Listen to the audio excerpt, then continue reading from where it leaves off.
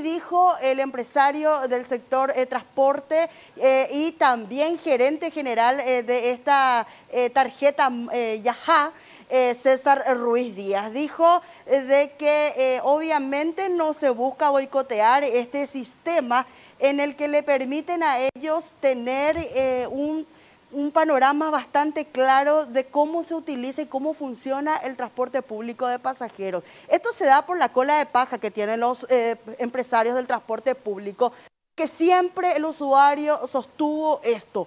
Se paga más por el boleto del pésimo servicio que ellos están brindando a la ciudadanía. Dicen ellos que no, que no es así que con esto se va, a eh, se va a poder sincerizar y transparentar lo que va a ser eh, realmente el uso eh, del transporte público de pasajeros en el Paraguay, que ellos hicieron una inversión bastante fuerte para poder mejorar el sistema y que aquellas empresas que se dedican a tener buses chatarra son los que están pasando lo peor. Desde el pasado 23 de octubre tuvieron que salir de circulación porque no tenían los aparatos que se llaman validadores.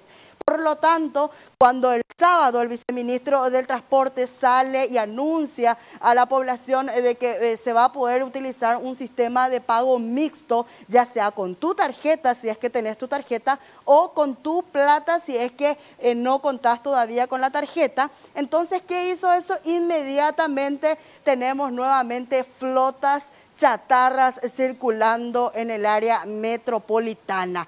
Pero ¿Qué pasa con las tarjetas?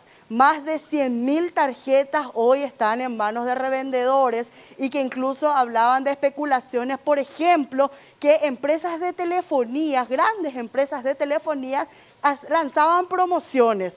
Haces tu portabilidad a tal empresa y nosotros te regalamos esta tarjeta Yaha o esta tarjeta más con tantos eh, viajes gratis en empresas de transporte público de pasajeros. Bueno, César Ruiz Díaz habló sobre este punto y escuchemos lo que decía porque no descartan para patear el negocio de los revendedores, distribuir masivamente y gratuitamente estas tarjetas.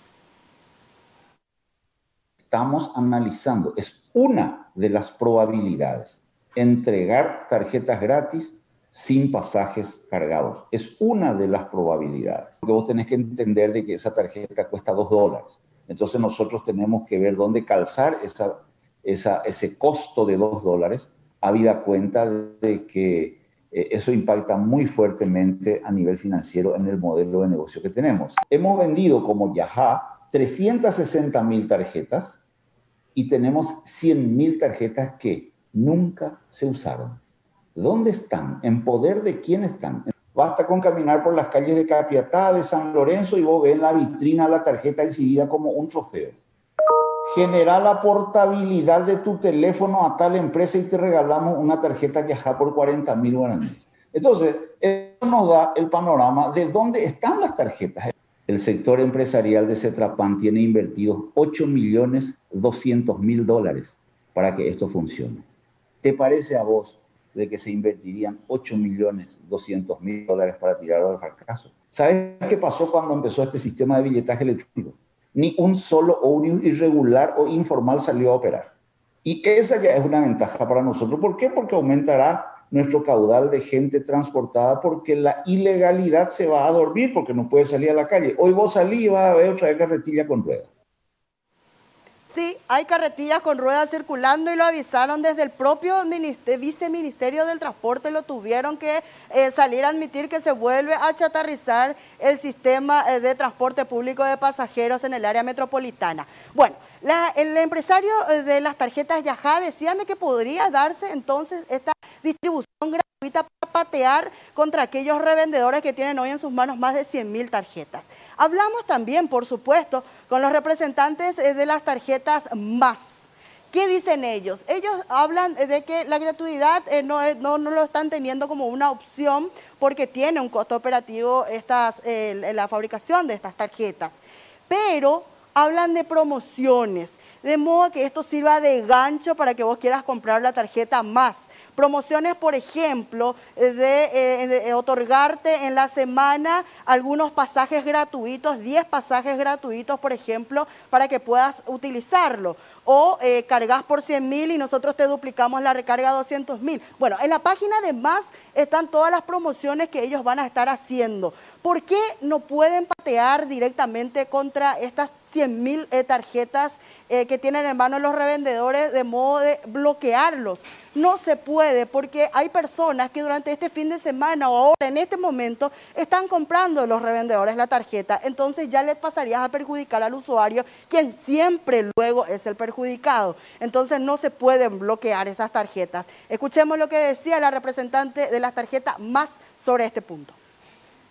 Teníamos un número X de tarjetas lanzadas, que eran 550 mil, de los cuales 430 mil están activadas y en uso. Y la diferencia es la que estamos eh, analizando y bueno, según reportes son las que están en manos de revendedores.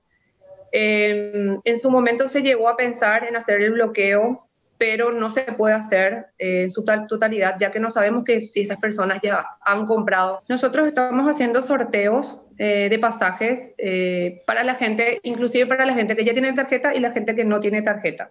La gente que tiene tarjeta estamos haciendo promociones de recargas por un monto X y la gente que no tiene tarjeta y que nos sigue justamente también para que pueda tener su tarjeta, invitar a la gente, visitar a la gente a que baje la app, la aplicación de Más para que pueda personalizar su tarjeta, inclusive le sirve por un tema de eh, seguridad, ¿verdad? Porque en caso que uno pierda su tarjeta o se le robe la tarjeta y tiene un saldo de 80 mil guaraníes, es plata, de esa manera puede recuperar su saldo.